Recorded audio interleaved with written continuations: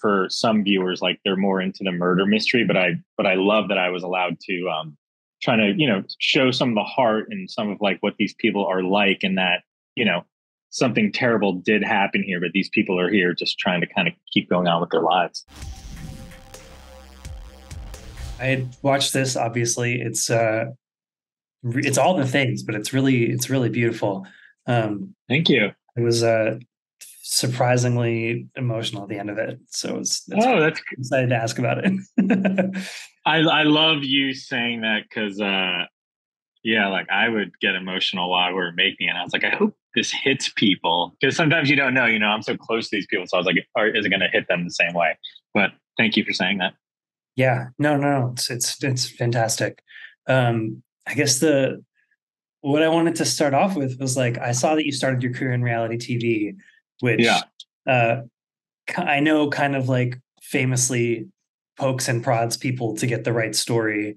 Uh, yeah. Anything about that experience you you either used or avoided in making a doc? Yeah. So when I first moved out to LA, what I wanted to do was uh, direct music videos. And then uh, actually my sister who's on, she set me up with uh, this person uh, named Ben who gave me the a job at Fear Factor.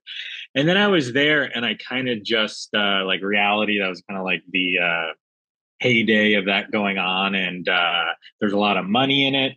And, you know, the thing the thing I got most out of my time in that was I was a casting director for years.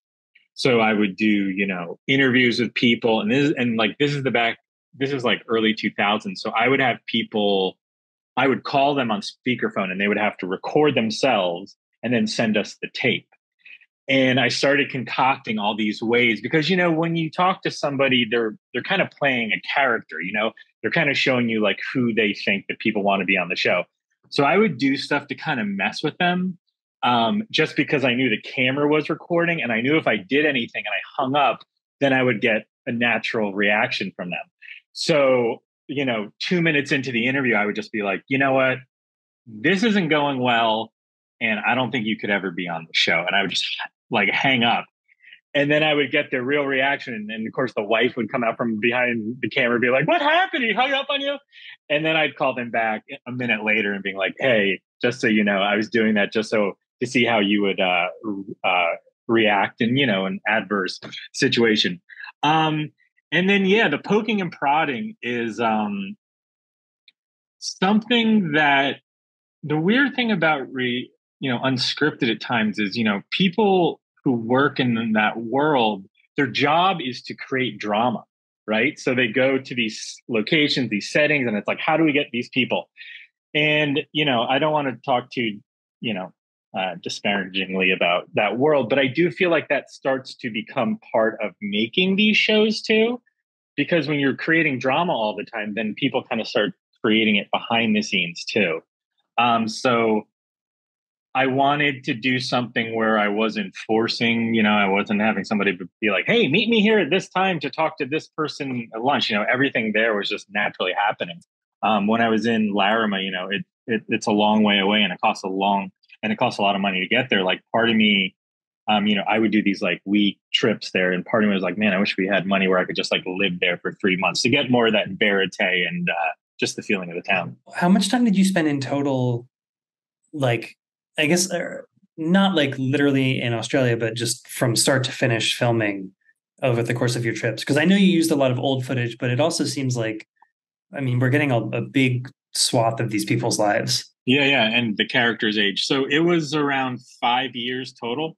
Wow. Um, it took us to make this. Yeah, yeah. So um, I think my first trip there was 2018. Yeah, yeah. So over five years, um, probably like five trips or so each time. I'd be there for a week or a week or so. But yeah, it, you know, it was really interesting because over my time there, the town was changing too. You know, when I got there, it was one thing, and by the end, it's another thing. So that was an interesting thing, and you know, that's what I love about Doc. You know, Doc too is like you get to see those changes happen over time. That's kind of what I was going to ask because the murder is like the the hook of the film, but but like the thing that was even more impactful to me was like the rise and fall of the town and and what's happened to everyone because you see Yeah. that old footage where everyone's having such a great time and then you see it all just kind of fall apart. Was that a part of what you wanted to capture initially, or was that something that you kind of discovered as you were looking into this other aspect? I knew from the start I didn't want it to be just uh, you know, kind of generic true crime with just kind of it being spooky the whole time. Um, you know, both both of mine and my sister's parents are from Australia, so like I know these characters and I know these people, and um, that was a tricky part about making the film. And I really appreciate you saying just like the heart part, like that's what I wanted to get across. Like, of course, you know, for some viewers, like they're more into the murder mystery, but I but I love that I was allowed to um, trying to you know show some of the heart and some of like what these people are like, and that you know something terrible did happen here, but these people are here just trying to kind of keep going on with their lives. I mean, it's backing up a little bit, but like, so you Yeah. Filming a year after the disappearance, I guess, because I was turning at 17. Yeah. Was that how did you find out about that? And like how much how much information did you have before you got started? Okay, so I found the story on Twitter. So, you know, for years of working in um, unscripted, I wanted to try to find something that I could do on my own, you know? Yeah. And um, I would constantly just, you know, Reddit, Twitter, everywhere. I was constantly looking for stories. And usually what happened is I track down a story and, uh, or a person involved in the story, and they say, you know, X production company has already gotten, you know, gotten to us. Yeah. So, um, this was a story that again I found on Twitter, and I just slowly started kind of like digging in a bit more. There's a podcast, um, and then I would start talking to uh, reporters about it, and then so this is about you know five six months of research. I think it was actually seven months of research, and during that time, I'm pulling clips from the internet and creating like a sizzle reel in hopes that uh, the sizzle reel will then get me funding to go to Australia. So um, somebody told me, and this was like seven months in, they're like, listen, because I basically asked the person, like, hey, can you talk to them and see if I like, will they talk to me? And this person was like, I talked to them, none of them will talk to you.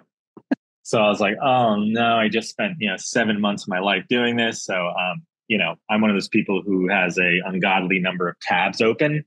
And I was just Xing out like every tab I had about researching the story. And the last tab was the Larrimah Hotel and Pub. And this is 2017 and my computer at that time i believe was from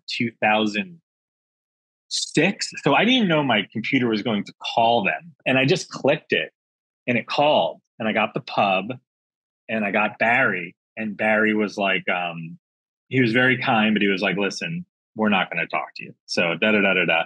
And then i just started kind of bullshitting with him for a bit. And then at the end of the phone call he said if you come here i will talk to you. So it was just like I knew if I got to Barry, then hopefully the you know the others would come as well. Wow. Did did it help having parents from there? Did that give you any sort of like credibility or like Yes, I do think that helped because um, you know, just as Americans have their thoughts on Australians, Australians have their thoughts on Americans. You know, like one of my favorite things about my aunt is that she likes to make fun of America, and she's like. Hey Thomas, you're gonna go drink one of your Starbucks milkshakes.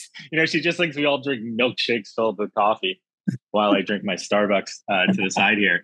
Um, yeah, so you know, I mentioned that to Barry on the first call. I was like, listen, I'm not just some random guy. Like, my parents are from Australia. I did like half of second grade in Australia. So it wasn't that alien to me. And I do think kind of like that helped. And uh, our family business back in the day was like a meat packing place and, uh, or meat, meat business. And, you know, Katherine is one of the towns that's semi near uh, Larrimah, and there used to be like a meat works there. So that was like another weird thing where I was like, oh my God, I think my dad must have been here back in the day. My uncles have probably been here. And weird enough, my aunt and uncle have actually met Fran, like, you know, 10 Yeah. years before I ever found the story. Yeah, they're they're uh like crazy cyclists and they do these cycling journeys like through Australia where you where you only ride at night because it's so hot. And at one point they pulled over at Larrimah to chill out and uh they met Fran. how did you feel when the uh when the audio tape came out? Because that was what 20 last year or something right? So you would have been at this Yeah. time and then had this thing Yeah, that was um that was like a hectic moment because that was like a lot of planning because um we didn't put it in the film but i was with fran in melbourne and then i had a crew up in the northern territory like in the court and there was going to be two days of deliberation or i don't know what you call it something going on there so i was like okay i need to be with fran in case anything happens with her and i should know after day one if something happens um, and then day two, I can fly up there and be there for like the final whatever's going to happen. So I was with Fran driving back from somewhere, and I had um, somebody in the courtroom just kind of texting me everything that was going down. And the texts were coming so fast that I was just like, like, what is this? Like, at one point, I thought um, the tapes were of Richard because of the texts were coming so fast. I didn't know that they were of the other person. Um, and uh, yeah, it, like it was a crazy moment. And, you know, that's real. Like I was getting those texts and I'm with Fran. And uh, before, you know, the scene at the end of the film, she's sitting there and she, and like, she just got that news. Like her lawyer called her up and was like, hey, this just happened. Um, yeah, yeah, it, it, it was uh, intense. And then the next day I drove up, or sorry, drove up, I flew up uh, and then was there for like the final day when um, basically like the end where they found out what happened yeah so before all of that came out like i'm sure you try to be impartial as a filmmaker and stuff but did you yeah. were you putting together your own theories did you have your own ideas about what was going on yeah you know i was constantly coming up with theories and also um you know there's a lot of stuff obviously that can't get into the film, even though it's two hours. Um, you know, people would pull me aside and tell me things. Um, yeah, like people would tell me really interesting things about people I didn't even really think would be a part of this or were capable of doing such a thing. So, I mean, and also it's such an interesting world out there. Like there was one, you know, oh, it's not in the film anymore, but at one point there was like a story of like this white van that was in town. There were these sinkholes that are um, uh, like near Larrimah, where somebody told me, you know, he could be thrown in there. So, yeah, you know, the whole time um, I was coming up with theories in my head too, and like that's the thing about the film too. It's like who done it. You know, you kind of have to explain all those theories to get to the end to hopefully find a better, you know, uh, to find out what happened. Did you have an interview that was the most frustrating because the, the most frustrating one to watch I, I can say was the attorney and i was like why did this guy even take an interview but i'm curious yeah. on the side like how how you were doing with all those yeah like honestly like that annoyed me too because like we you know we are uh where did we film that in the northern territory but still it you know it was one of those things where it's like Larrimah's still pretty far away from Darwin where that interview happened. And and I remember like we like shelved something else to go up and do that interview. And during it, I'm getting frustrated too. But I do think the not saying um, says a lot. Um, with Richard, you know, there's one moment in the film where I have to ask him a question, and you know, I'm I was terrified. I was terrified to ask him a certain question, and then what what his reaction would be to that question. And you know you can't tell where we are but we're in the middle of nowhere in western australia. Like we're just on somebody's property in this barn. And i was just like you know like uh, and but i do want to say about richard like i like i do like the arc he has um in the film because um i don't know he's an int- he's like he's a very interesting character to me because people have very strong reactions um, and then, you know, sometimes uh, like this didn't get into the film, but sometimes, you know, the doc, whatever gods like shine down on you. And just like I was in this town that Paddy, um, Paddy was in before he moved to Larrimah that he got kicked out of. And I was interviewing this one person and he like really didn't like Paddy and was saying all these things. And he was like, yeah, he was friends with that asshole up the street. So I was like, who? And he told me the guy's name. And I walked up the street and just like knocked on this random door, not knowing like what's behind it. And uh, this guy came out and he was like, basically, he was going to, he was moving the next day. And mm. it just was like, luckily I was there that day. And he was like a really great, interview. We didn't have time for him in the film. Um, but I just remember like we were setting up and sound guy put a mic on him and I just always remember he went, Oh, Brad Pitt. Like he was like so excited. And then he told me a bunch of uh, things that were a bit ter- uh, bit terrifying. But you know, most of them were pretty chill in the sense that like the Larrimah residents would invite me into their home. And I'd be like, hey, do you mind if I swing by at seven? We can do the interview. Sure. You know, um, they were all very, very kind to me. So I got to say that too. Do you have any sense of what might happen next with, with all of this stuff? Just given the time you spent and all that. I don't. I really don't. Um, you know, you see at the end of the film kind of where it's at. And um, I do think a big part of this is the fact that there is no body, you know, yeah. there is no there there's no body for Paddy or Kelly, um, the dog. Yeah. Um, and without a body, you know, it's really hard to arrest somebody or not even arrest them, but you know, get them sentenced. So um, I honestly don't know what's going to happen, but I don't want to spoil it either, too. You know.